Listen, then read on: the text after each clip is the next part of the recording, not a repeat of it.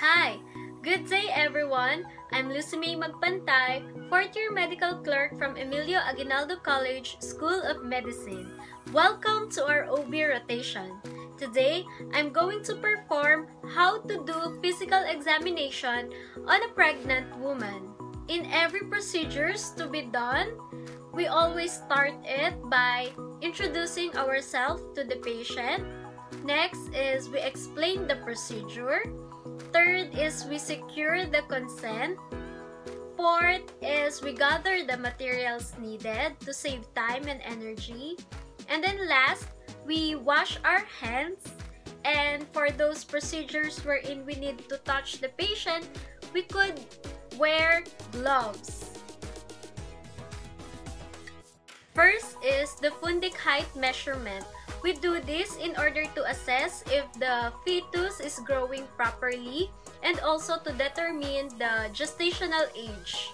So in this procedure, we would like to know if the location and measurement of the fundus matches the current age of gestation. Our landmark is the symphysis pubis and the fundus. And our instrument will be no other than the tape measure we will use the centimeter in measuring the fundic height. We will position the patient supine, so just be careful because it will compress the major vessel. We need to monitor the patient for any hypotension or dizziness. So as we go along, it is important to know where is the fundus located during the course of pregnancy and after the delivery. So let's start with um, during pregnancy. So if it is 12 weeks age of gestation, the fundus is located above the symphysis pubis. And when it is around 20 weeks of gestation, it is already located on the belly button. So in between, from 12 weeks to 20 weeks, the fundus is located just between from the symphysis pubis to the belly button. When it reaches 20 to 36 weeks of uh, age of gestation, the AOG already coincide with the fundic um, measurement. So for example, if the age of gestation is 20, so the fundic height is around 20 cm. So if the age of gestation is 36, so the fundic height is also around 36 cm. So take note at this stage, there could be a plus or minus 2 centimeter adjustment, but that is normal. So for example, the age of gestation is around 24 weeks. So we expect the fundic height is around 24 centimeter as well.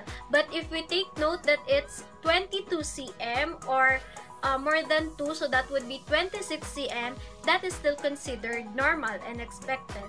When it reaches to 36 weeks, it's already located at the xiphoid process. That's why the pregnant mother will experience some difficulty of breathing.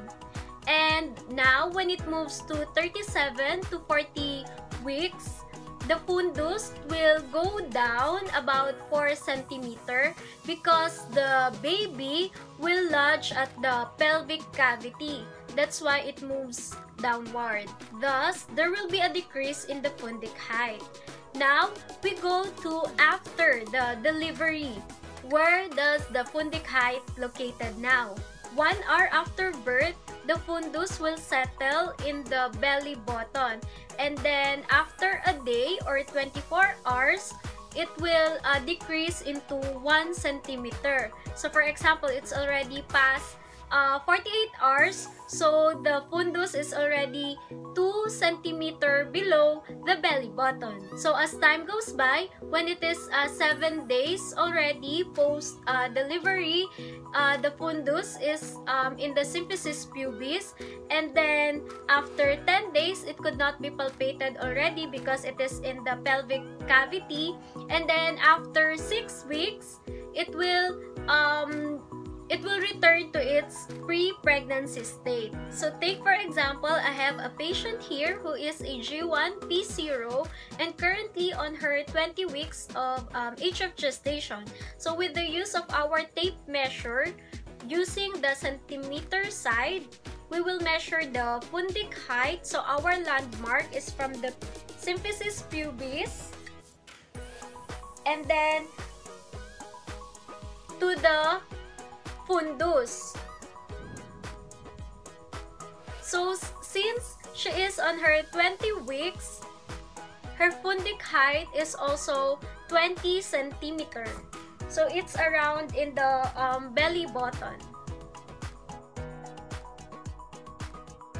Next is Leopold's maneuver. It uses a systematic approach in order to determine the presentation, position, and engagement of fetus in utero. For special instruction, we instruct the patient to empty the bladder because as we palpate, this might be uncomfortable for the patient.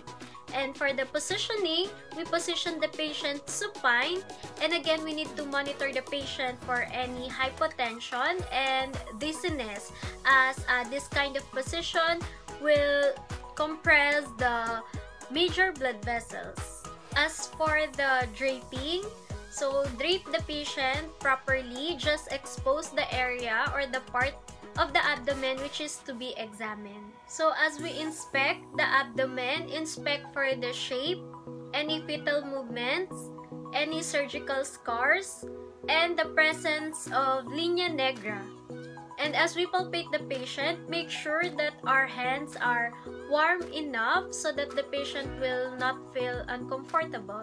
First maneuver is the fundal grip. So we position ourselves facing the patient So as we try to palpate the fundus, we are trying to assess the uh, size, shape, consistency, and mobility. Actually, we are able to palpate if it is the head of the fetus or it's the buttocks.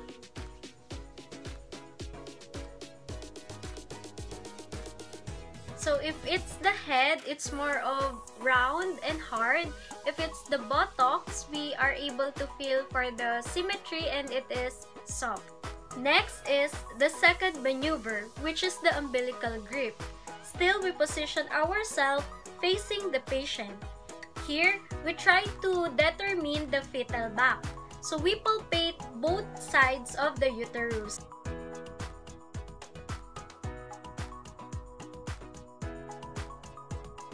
So if it is the fetal back that we are able to palpate, it would be smooth and firm. While if it is the extremities, it will be somehow irregular. There will be protrusions and irregularities. Third maneuver is the Pawlik's grip.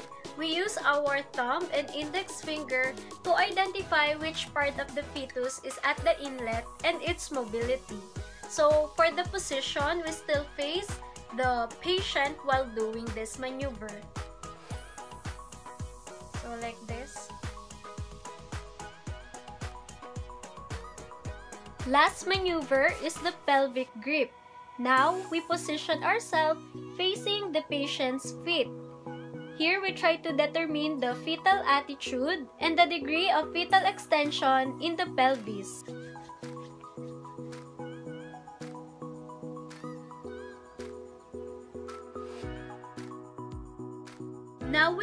The inspection of genitalia.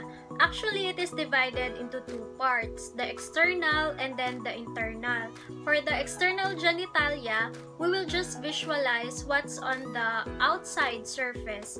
But for the internal genitalia, we need a special instrument which is the speculum, the vaginal speculum, in order to see what's inside.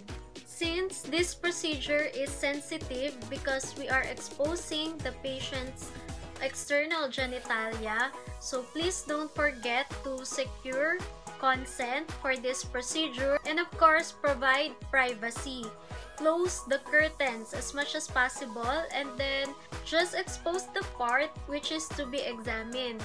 Usually, in this case, the patient prefers female doctor rather than a male doctor because they are um, typically shy to expose their private parts. Sorry because I don't have a good model for this procedure but I will just include pictures in this um, video.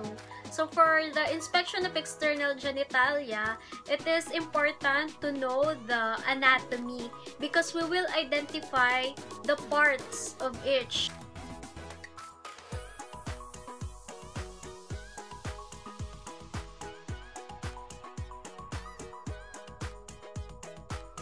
What are the things that we need to inspect? Number one, skin lesions. Are there any pustules, warts, or scars? Second is subcutaneous or submucosal swelling. Third is pigmentation. Is it normal or is there any leukoplakia involved? Fourth is evidence of irritation. Is there any excoriation or ulceration? Fifth is infestations. Is there any presence of lice? Next is cosmetic alteration. Is there any tattoo, piercing, hair removal, or genital mutilation? And last, check for any presence of discharge. So assess the odor, the color, quantity, and consistency. So for example, our patient is on her third trimester. So as we inspect her external genitalia, we can see that uh, there is swelling in the vulva because of the, the baby is dropping lower in the pelvis. So there is swelling as well as we can see that um, the vulva is uh, darker because of the hormonal changes. Now we go to vaginal speculum exam. It is done to visualize the cervix and the walls of the vagina. Sometimes sample is taken, so that process is already called pap smear. But in this procedure, I'm just going to demonstrate how to insert the vaginal speculum. So we position the patient dorsal lithotomy wherein there is a stirrup where the patient's leg could hang on. And we ask the patient to move to the edge of the table. So the buttocks must be at the edge of the examining table. For the materials, of course, we need to prepare a pair of gloves, and then our vaginal speculum, and the lubricant. Some reminders and instructions. Again, since this is a sensitive procedure, don't forget to secure consent and provide privacy. Close the curtain as much as possible. And then warn the patient what to feel once the vaginal speculum will be inserted because um, for some vaginal speculum, especially for the metal ones, uh, the patient might feel cold because of that metal. So just warn the, the patient so that she will not get um, uncomfortable upon insertion. Also, make sure that you have a good light so that you'll be able to see once the cervix is already visualized.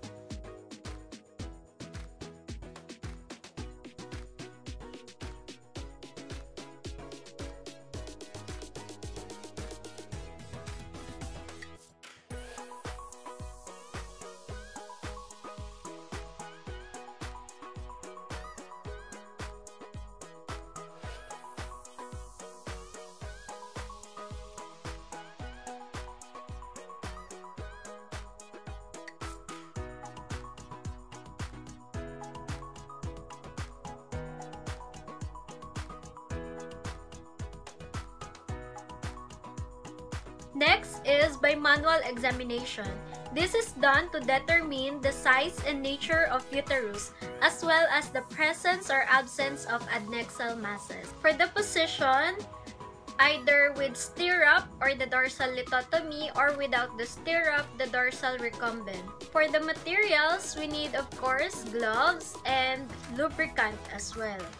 First is we need to lubricate our fingers that we are about to use in this procedure.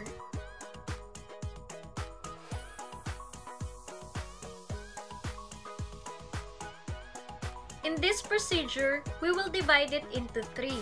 First, we will palpate the vagina and cervix. Second, the uterus. And last, the adnexa. First, we will palpate the outer portion which is the vagina and the cervix using our index and our middle finger. The thumb is abducted while the ring finger and the little finger is flexed like this.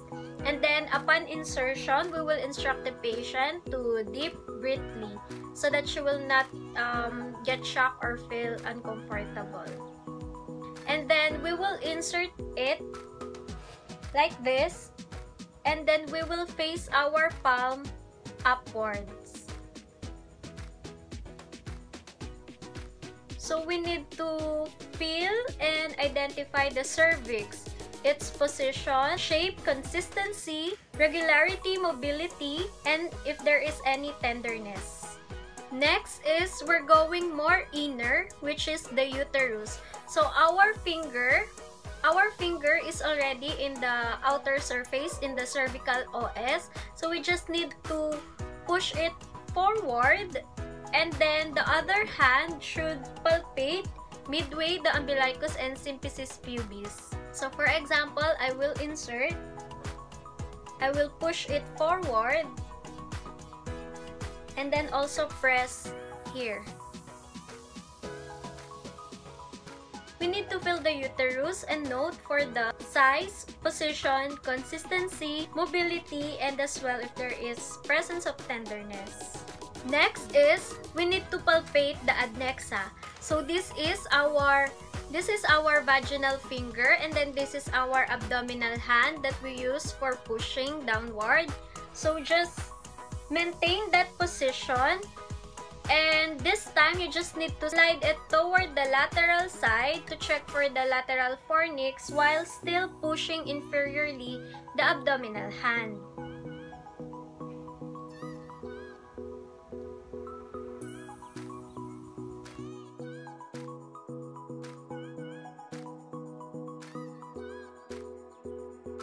Coming down to our last procedure, which is the recto-vaginal examination. It is a gynecological examination that is used to supplement the pelvic exam. It is done to examine the rectal and vaginal areas for any abnormalities. In conjunction with the bimanual examination, recto-vaginal examination is usually done after that. So the patient will maintain on that position we will remove the gloves previously we have used in the vaginal exam. Now, we will wear a new pair of gloves. Don't forget to lubricate the glove fingers. Now, we will insert the index finger in the vagina while the middle finger in the rectum. Still, the thumb finger is abducted and the two other fingers are flexed. We ask the patient to bear down as the rectal finger is being introduced. Next is to sweep from side to side and use the abdominal hand to bring the uterus and the adnexa towards vaginorectal hand.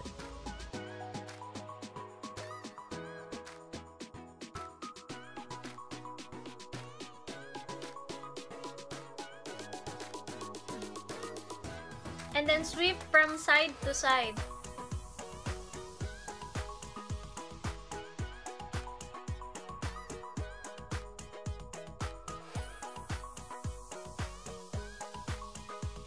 That would be all. Thank you so much and God bless!